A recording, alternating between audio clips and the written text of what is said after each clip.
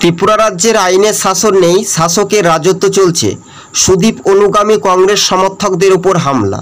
কংগ্রেস কর্মী সমর্থক এবং নেতাদের একটাই অভিযোগ, বিজেপি ছেড়ে কংগ্রেসে যোগদান করার অপরাধ শাসক গোষ্ঠী বিজেপি কিছুতেই মেনে নিতে পারছেন না।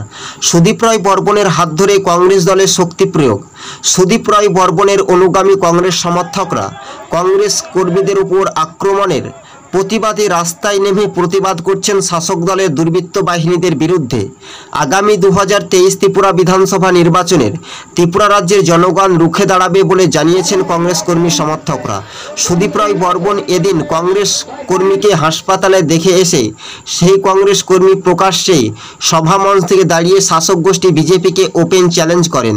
হিম্মত বা ক্ষমতা থাকলে তেইশ বিজেপির জাবানা জব্দ হবে দু ত্রিপুরা বিধানসভা নির্বাচনে। আক্রান্ত সুদীপ অনুগামী, উত্তম পাল, তিনি সরাসরি শাসক গোষ্ঠী বিজেপিকে চ্যালেঞ্জ ছুড়ে দেন।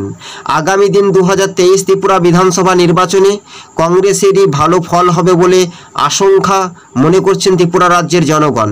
বিজেপির দুর্বৃত্ত বাহিনীদের বিরুদ্ধে প্রতিবাদ কংগ্রেস সমর্থকরা।